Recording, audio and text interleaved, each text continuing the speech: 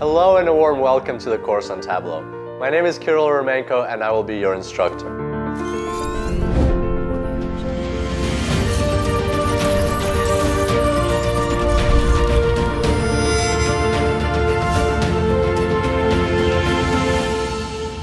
And first off, how is this course different? Well, unlike other classes out there, this course is truly step by step.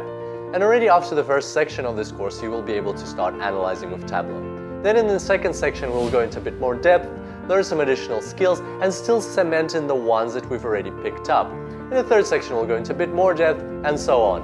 And you will see how you're getting better and better with every step that you take in this course. And also in this course, you will learn by doing. Every single module in this course is a new data set, a new visual, and a new exercise for you. So let's have a sneak peek at some of the powerful visuals that you'll be creating in this course.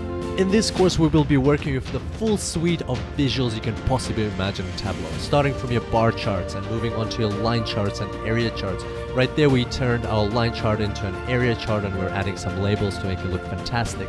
We will work with maps, lots of different maps of the US, uh, UK. We'll add scatter plots to those maps, and I'll show you how to include those maps in powerful dashboards, and you will see how easy it is to create dashboards. And we will even look at storytelling. I will show you how to create a storyline and fully leverage the power which is within Tableau. Does that sound like something you've been looking for? Well, then don't put it off. Click the Take This Course button now and join the class. And I look forward to seeing you inside.